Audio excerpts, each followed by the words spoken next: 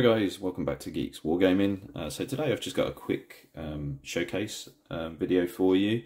Um, been working on an awful lot of um, projects over the past sort of year and um, realised that I haven't actually put anything up on the channel showing you. Um, so um, I'm probably going to start doing that a bit more so you can see what I've been working on. So this is this is kind of in a bit of reverse order actually because this is actually the most recent thing I've completed and I've been doing stuff since like I say the start of the year so uh, you'll start seeing some of that stuff coming through as well. Um, but as you can see we've got the Invader ATV um, I'm currently uh, trying to update my uh, my Blood Angels force. Um, really enjoying using them at the moment. Uh, I know they're one of the weaker uh, Space Marine uh, codexes but um, I just like them. It's one of my biggest forces that I've got. Um, actually, I'm aware I haven't actually done a full army showcase uh, for my Blood Angels like I did with my Iron Hands. So, uh, so maybe I'll do that. Let me know uh, down in the comments below if that's something that you want to see. Um, but yeah, let's uh, let's bring this up to the camera so you can see what I've done. So as you can see, there's a slight um, kit bash um, conversion on the uh, the back. Uh, so um, I find with this, I mean, obviously, you know, that's what it kind of looks like from the front, and with the gunner on the back, also having both of his arms on the uh, the gun, uh, it's quite a it's quite a boring pose. There's nothing sort of dynamic to it. Um, I know there's a lot of people that don't like this model. I don't mind it, but uh, like I say, I felt that it was just a little bit too static, so I wanted to just sort of change it up. So um, I decided just to swap out the arm. So that arm is just sort of from the uh, the standard intercessor kit. Uh, I also decided to do a head swap on him as well.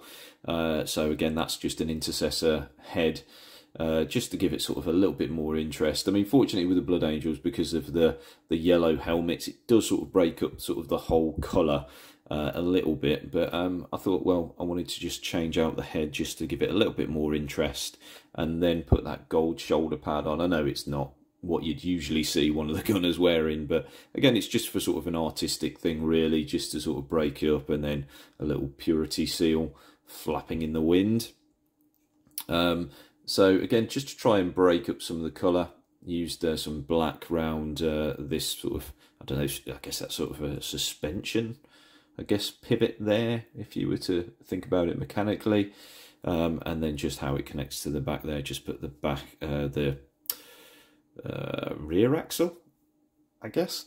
Uh, painted that black. Uh, bit of weathering across the whole model, giving it some little scratches. Um, there's some sponge chipping. There's some actual painted on sort of scratches and highlights and things like that. All the decals um, are, uh, are on there as well. And then I've used some uh, pigment. Uh, I've got, um, I can't remember what company it is, but it's like a sort of a deserty sort of colour. I think it's called Gulf War Sand or something like that. So I tend to put that on um, on all the tyres of my uh, my bikes and, uh, and buggies and things like that. So they're all sort of uniform. Um, this was quite quite easy to paint. I painted it in sub uh, sub assemblies. So I kept this top part off. Uh, I sprayed the entirety of the bottom without the um, the driver or the gunner on. Uh, sprayed it all silver a couple of uh, layers of sort of dry brushing, washes, things like that. Picked out some of the details. Obviously, have to pick out the legs of the gunner, uh, sorry, of the driver. Kept all this front section off so I could paint that all separately because there are some sort of, you know, little buttons and dials and things like that in there. So I wanted to sort of keep that all separate. So stuck that on all separately. Painted the, the gunner all completely separate. Um, again, he's got some little um, buttons and things that you can't really see down there on camera, but uh, they're all sort of picked out as well. Um, now with this, um, in the list which I've currently wrote, I want to try and get to some more tournaments next year, and I think I want to try and use my Blood Angels. Um, so I'm I'm sort of trialing a few sort of different lists, and uh, I'm not sure if this is going to be the Melta or if it's going to be with the the Gatler, but I'm pretty sure this is going to be in the list. So I've I've magnetised it, uh, and it's a little bit um, uh, with this pose. I made it a little bit more awkward than I needed to because uh, with this pose I had to build this handle. Um, so this handle actually comes attached to the gunner's arm, so I had to cut it off. And then that's just a little bit of um, plastic rod uh, that I've put uh, as the actual sort of handle um, there. So yeah, I can sort of take this off. Uh, it's all magnetised on. If I get another one of these, I might actually try a slightly more dynamic.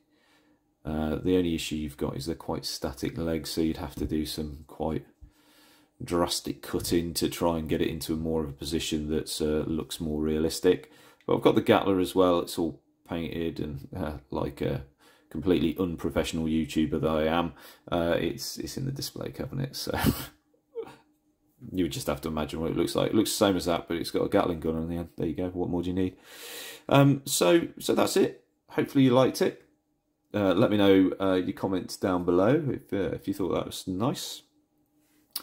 Um, that's it. There'll be more coming. So if you haven't already subscribed, uh, please do so. Give us a like, comment, uh, because we um, our uh, vid video upload schedule just recently hasn't been uh, that frequent. So apologies for that, guys. YouTube is really hating us at the moment. So anything that you can do to support us would be greatly appreciated.